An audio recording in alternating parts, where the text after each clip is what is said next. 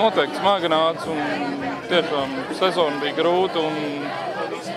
Līdz pēdējiem brīdim mēs cerējām, ka kaut kas labs būs beigās un kopīgiem spēkiem panācām un izcīnījām sudraba medaļu, kas tiešām bija tāds atvieglojums par taisnīto sezonu. Beidzot varēs atpūsties un aizbraukšu mājās un, un, un laikam beidzot apjēgšu, kas ir noticis, ko mēs esam izdarījuši. Un, jo šobrīd ir tāds haoss pagaidām. Un, Neesam īsti sapratuši, ko mēs esam izdarījuši. Šī man bija trešā olimpiāde, un uh, pagaidām man tā vislabāk ir patikusi.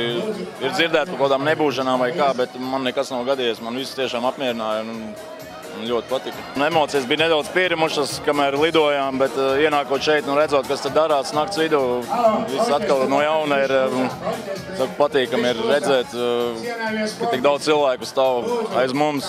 Un, tas viss kopīgs darbs ir nesis augļus tiešām un patīkami strādāt cilvēkiem. Pirmām kārtām gribu ar ģimeni vairāk pavadīt laiku. Un,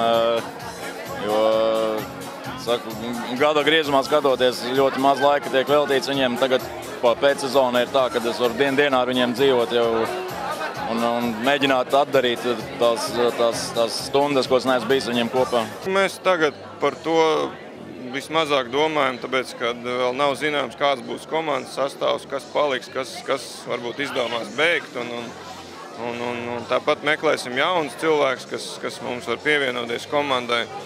Tā kā, kā parasti būs vasara, būs smaga, grūta un, un tikai ar darbu var kaut ko sasniegt. Cits sports neredzēja. Ne. Nu, cik es pa televizoru paskatījos, jā, hoķu dabīgi paskatījos un, un uh, vēl šo to, bet nedaudz ko. Jā.